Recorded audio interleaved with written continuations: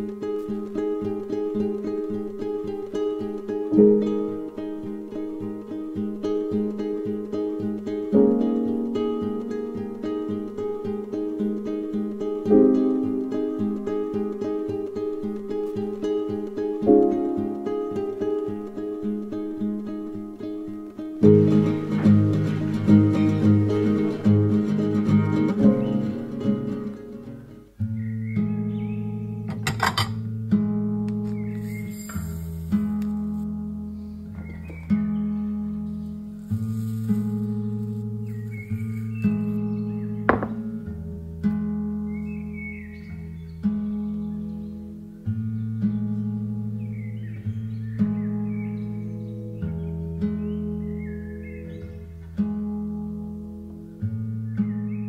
don't think I ever really appreciated coming to this house as much as I did this time.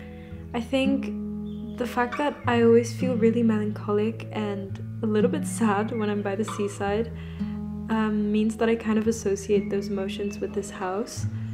But this time being with my family and spending time with nature, I don't know, it just really made me appreciate it so much more. And it's possibly also because everything is so different there than my day to day life is when I'm back at home. So, yeah, it was a really lovely time, and I really had time to just slow down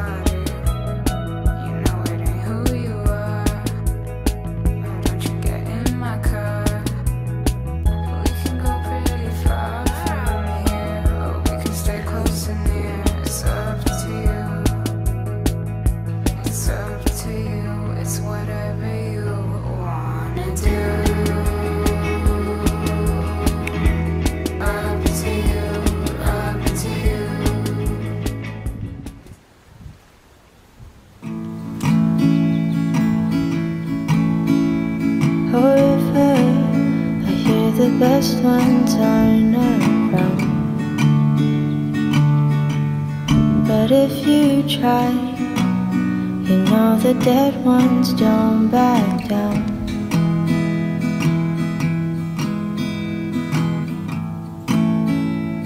You shiver at midnight from the creaking sound of the cradle where your mother once laid you down.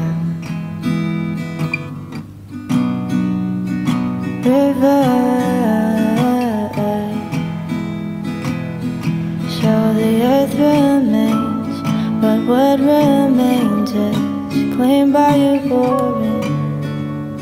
If I could have known you in time, maybe it'd be alright.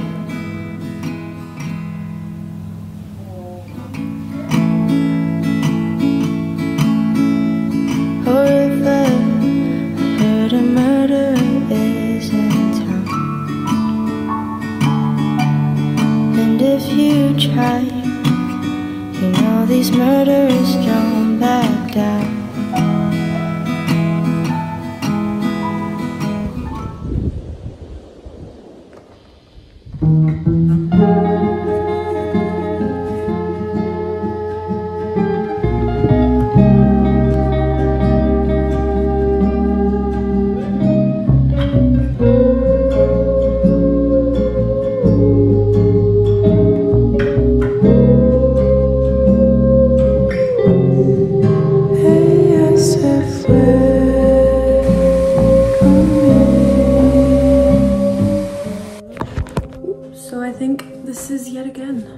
first time speaking in a video.